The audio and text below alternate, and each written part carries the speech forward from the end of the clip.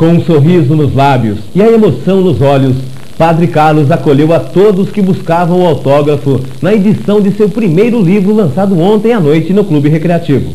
No livro Favos de Mel na Vinha do Senhor, Padre Carlos procurou colocar toda a sua experiência de fé em histórias verídicas ocorridas durante os 13 anos em que se viu obrigado a ver a vida por outro ângulo.